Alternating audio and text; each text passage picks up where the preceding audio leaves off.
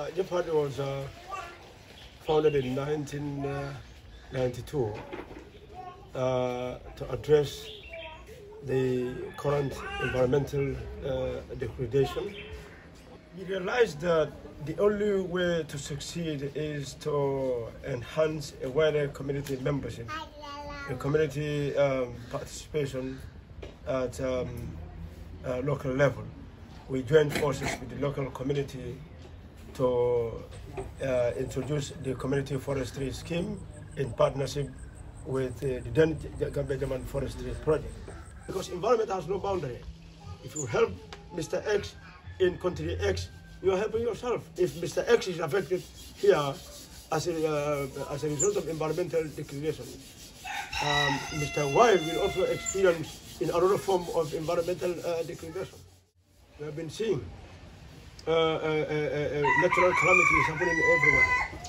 Disaster, flooding, hot weather, you know, the wildfire is happening everywhere. So everyone is, each and everyone of us, uh, of our responsibility.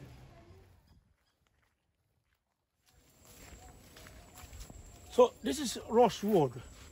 It's one of endangered species in the Gambia. You can get a lot of money out of this, and it can be exported to China. And the China, the Chinese, the companies they normally make it for furniture, and then they sell those furniture back to Africa or other, any other country. So the this um, rosewood is very good for timber. It's very good for firewood as well. So it's one of the endangered species. You have the, the sister type that is ironwood which is um, even more endangered.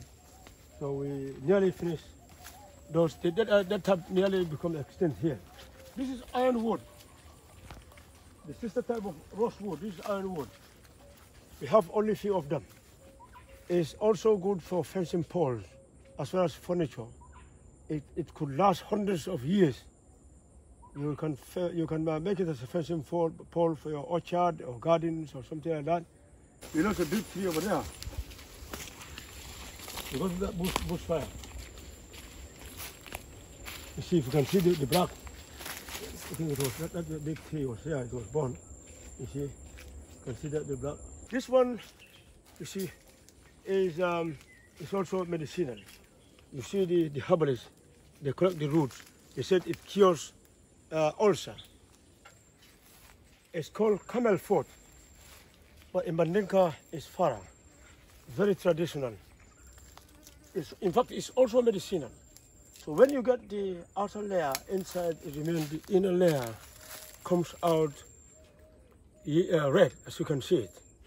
Um, it cures ma malaria, so it's also medicinal. It's nice and also medicinal.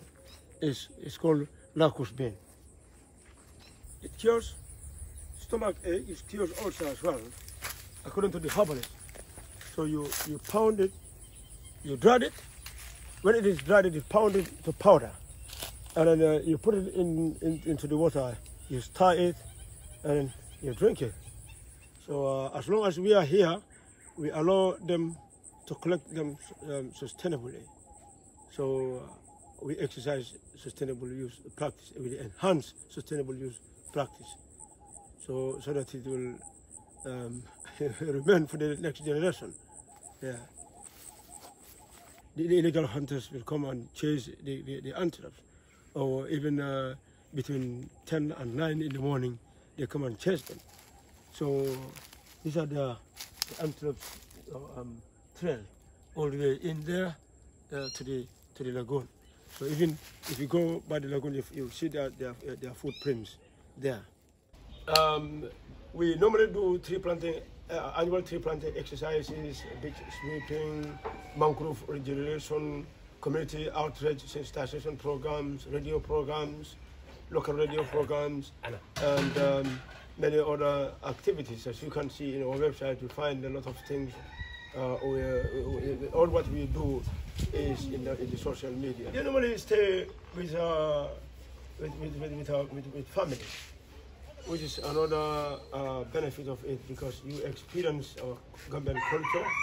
You live, with, you stay with the families, and then you learn uh, their culture, uh, the type of food they eat, the, you, uh, you, you, cook with them as well. So that's another added value to volunteering, uh, uh, for volunteering with us. Um, the Gambia is a popular tourist destination, but if we don't mind, that will decline because when we lose all our forest cover, where the birds are going to go? Are we going to do bird watching at home, in our houses? No. So it's very important to actually protect this, uh, the remaining biodiversity, the remaining ecosystem, to ensure the ecosystem remain in place. So um, if we don't do that, most of the tourists will go to the neighboring countries. When the tourists need sunlight, they need um, people and culture. They want to see people and culture. And all, of course, unfortunately, even that culture is under threat. We need to uh, take care of our culture, take care of the remaining biodiversity, and so the, the remaining ecosystem remain in place.